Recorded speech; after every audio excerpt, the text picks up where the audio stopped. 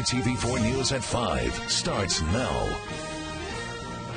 First tonight, claims of rampant sexual harassment at a former Waikiki hotspot. Good evening, I'm Paula Akana.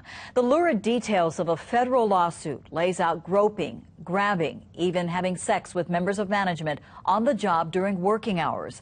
KITV4's Laura Yamada has our top story on the claims against Senor Frogs.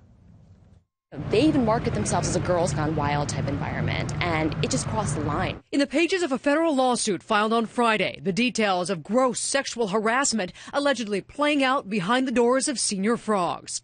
The Mexican restaurant known for big parties and young crowds shut down its Waikiki location at the Royal Hawaiian Shopping Center in August, saying on its Facebook page it had every intention of reopening.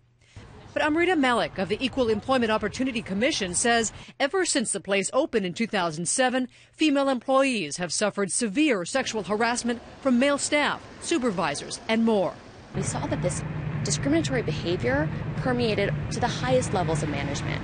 We're talking about their senior level executives based out of their headquarters in Cancun.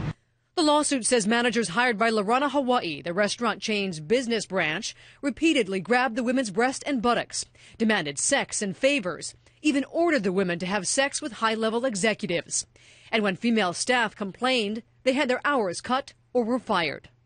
Now, according to the lawsuit, the young women say they complained to management, to upper management, and then to human resources employees hired by Altres here on Kapiolani Boulevard. But they say even then, the harassment didn't stop. And as a result, the harassment continued, the discrimination continued unchecked.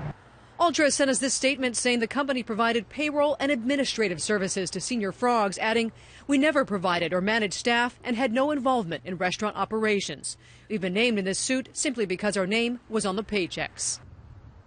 Now, we repeatedly tried to reach lawyers for Lorana Hawaii or Senor Frogs today with no response. Altres CEO Baron Gus also told the paper today he expects the company will be dismissed from the lawsuit, while the EEOC stands by their claim that staff hired for human resources failed to properly handle those complaints. Back to you. All right, thank you.